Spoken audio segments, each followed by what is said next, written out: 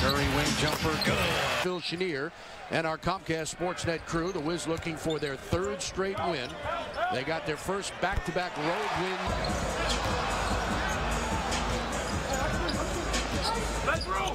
Curry off the screen.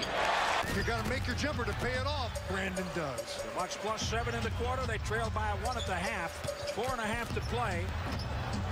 For making it. I don't know how he did it. About a second away from being a jump ball. Yep. That's Green strength. Out of the bucket.